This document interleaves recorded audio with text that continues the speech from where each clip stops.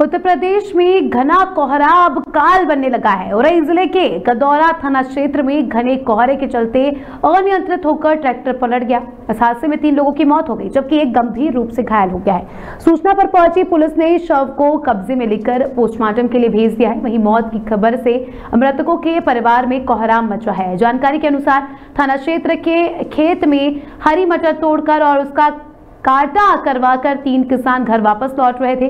तीनों अपने अपने ट्रैक्टर से लौट रहे थे। तभी इटौरा, बबीना मार्ग पर दादूपुर और कुआखेड़ा के बीच हादसा हो गया, जिसमें ये दर्दनाक इनकी मौत हो गई।